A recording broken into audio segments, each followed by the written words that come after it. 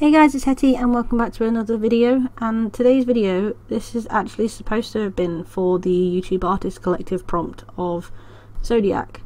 And I decided to draw my Zodiac Taurus. I did actually draw Leo as well and I asked over on my Facebook page which one they'd like to see me colour first because I just sketched them both in my sketchbook. So this that I'm doing a little colour test on is just a scan and I just printed it larger from my sketchbook which I hope you like the video of that that was out on Sunday. If you like those Sketchbook Sunday videos, please let me know because I quite enjoy making them. But anyway, so yeah, you will be seeing a Leo video coming out at some point, but it's kind of going in a backlog of ones I'm putting aside for when the baby comes because then I can still actually get videos out for you guys instead of having to try and rush and sacrifice precious sleep that'll be limited enough as it is uh, yeah um, I wanted to do this piece in my watercolours because I've not actually used them for a while and they just give me such a free feeling because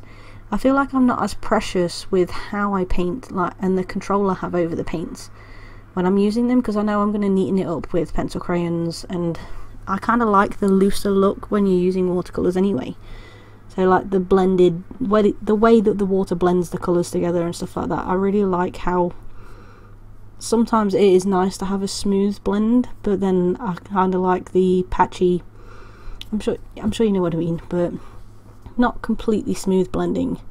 I just love how it naturally merges together with the water a lot of the time. Um, but yeah, one thing with this piece that I initially struggled with was the colours because the colours for Taurus are pinks and greens, and it's not normally two colours that I put together because the greens I normally just go down the whole nature route which I did with this piece as well. But it's not something you normally put with pink unless you're doing like flowers specifically.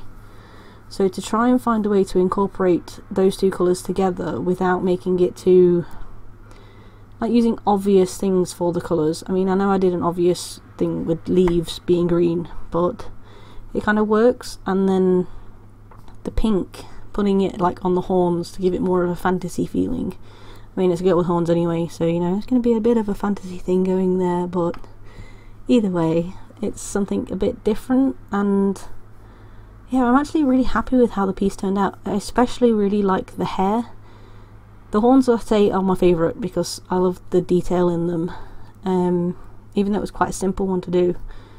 But I spent a lot of time on the hair, a lot more than I normally do, because I was trying out new techniques of trying to do the chunks and then not over shading the like each individual section or just doing loads of individual strands. I was just trying to make it work. And curly hair, I really wanted to try and do curly hair because this the character is loosely based off of myself and I actually have curly well it's more wavy curly not proper curls but I have messy curly hair. So I think to be able to draw that was something I really wanted to try and do because it's something I normally try to avoid. And yeah I actually really like how it came out. It's probably next to the horns one of my favourite parts.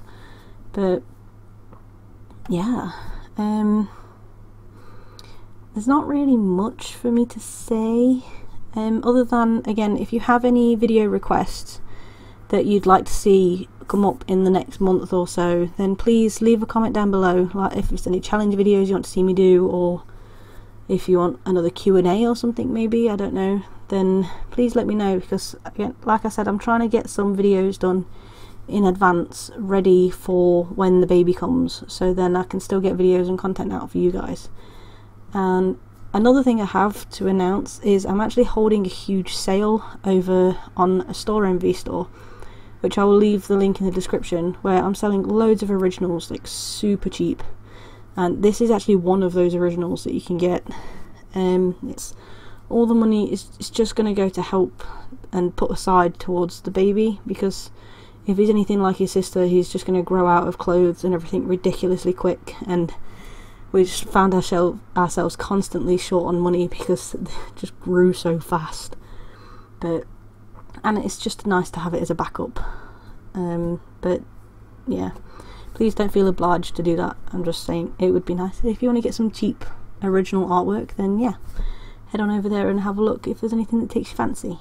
But we're not far from the end of the video now, so I hope you enjoyed the piece and the video, even if it was a bit rambly, and thank you for watching. Please like and subscribe, and I will see you next time. Bye!